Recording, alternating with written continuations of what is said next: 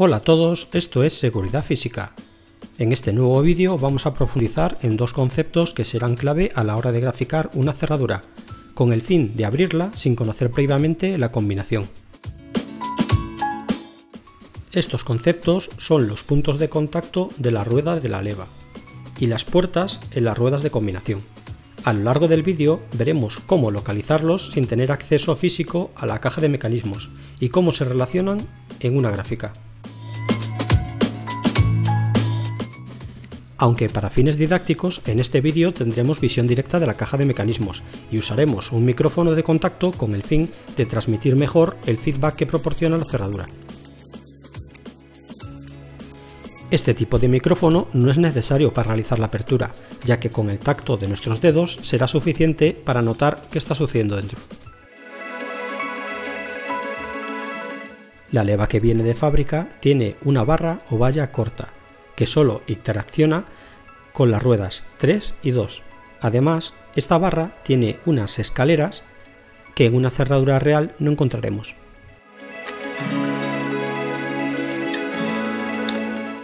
Ahora podemos ver cómo los escalones de la barra de leva hacen dos bajadas, una al coincidir la hendidura y otra al coincidir la puerta de la rueda, quedando la barra de la leva apoyada en la segunda rueda.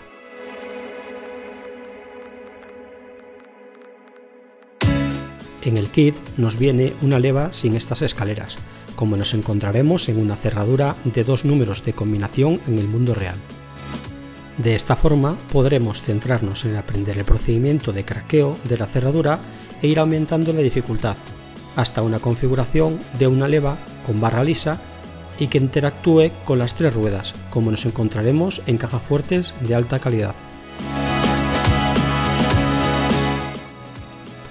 Como ya vimos en el vídeo anterior, y si no lo viste dejo enlace en la descripción, la rueda de leva o rueda motriz, la cual es solidaria con el dial a través del eje que los une. Tiene un mecanizado conocido como alojamiento de la nariz o hendidura.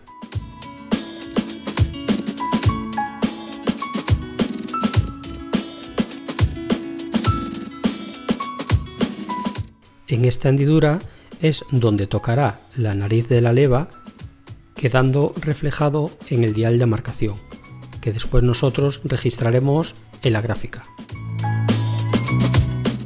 Esto sucede cuando las puertas de las ruedas de combinación no están correctamente colocadas en su sitio. Recordemos, a las 12 en punto. La punta de la nariz de la leva no entra completamente en su alojamiento, pero sí hace contacto con los dos lados del valle de la hendidura.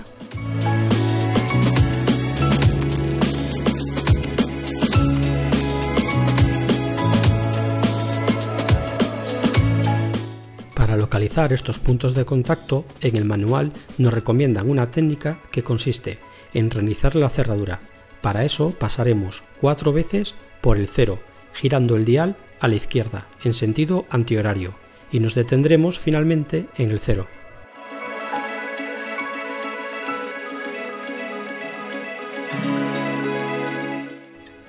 Una vez hemos reiniciado el dial, iremos avanzando y retrocediendo de 15 en 15 números.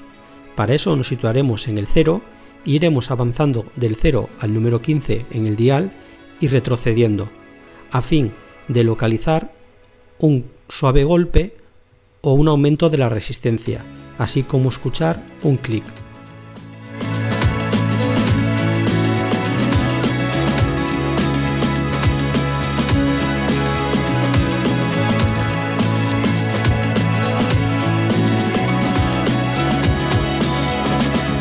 Pero, un momento, volvamos al principio.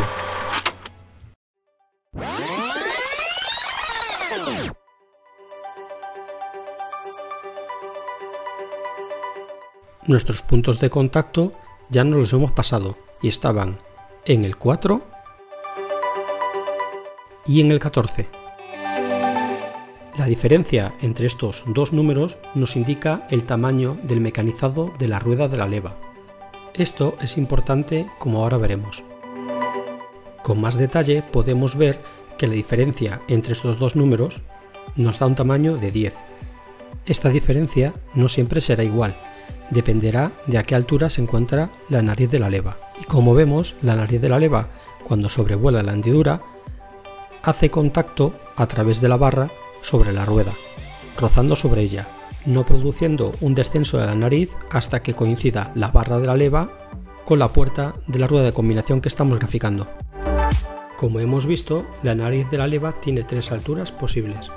La altura intermedia sería cuando la barra de la leva toca alguna de las ruedas de combinación. En cambio, su posición más elevada es cuando la nariz entra en contacto con la rueda motriz, no haciendo contacto la barra de la leva con ninguno de los discos, quedando estos libres. Y por último, la zona más baja de la nariz, que es cuando coincide la puerta de la rueda y la parte superior, dejando descender la barra en su interior. Como ya sabréis los que venís del mundo del ganzúa deportivo, para abrir una cerradura hace falta hacerle tensión al mecanismo. En este caso se realiza mediante el muelle y esta tensión será automática y constante.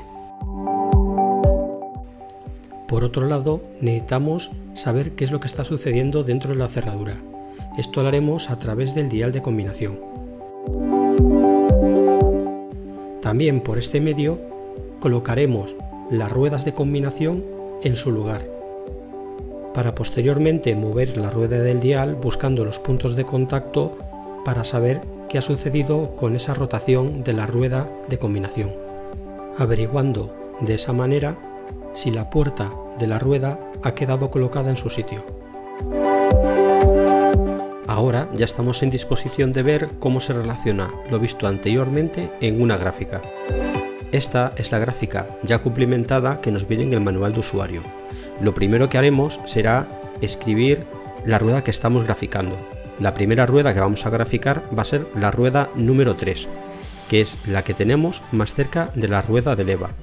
Lo siguiente será rellenar los huecos que tenemos en el eje X, que están reservados a los puntos de contacto, que iremos rellenando una vez los hayamos localizado. Como vemos, el eje Y no es necesario que lo cumplimentemos. Eso es porque lo que representa el eje Y son todos los posibles números que tiene el dial, en este caso del 0 al 100. Ahora que tenemos la gráfica ya lista para empezar a craquear la cerradura, vemos que hay unos puntos azules. Estos puntos azules es la gráfica ya finalizada y se registran cada dos dígitos y medio. Esto es así por dos motivos. Uno es que las cerraduras tienen una holgura.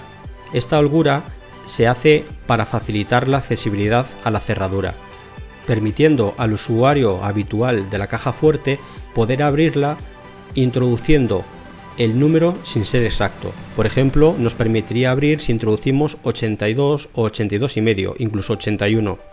Esto se hace manteniendo un compromiso entre accesibilidad y seguridad. Como hemos visto hace un rato, la diferencia entre los números del punto de contacto derecho e izquierdo representan el tamaño de la hendidura medido con los números del dial. Cuanto más estrecho sea este número, significa que más ha profundizado la nariz de la leva, y por tanto es un claro indicador de que nos encontramos ante la puerta de la rueda que estamos graficando. Como vemos a la altura del número 82 se ha producido un claro estrechamiento. Nos indica que ese es posiblemente el número de la combinación que estamos buscando. En el próximo vídeo veremos con detalle cómo abrir la cerradura, será la primera apertura completa. Así que, si te ha gustado, dale un like suscríbete y dale a la campanita para que te avise de los próximos vídeos.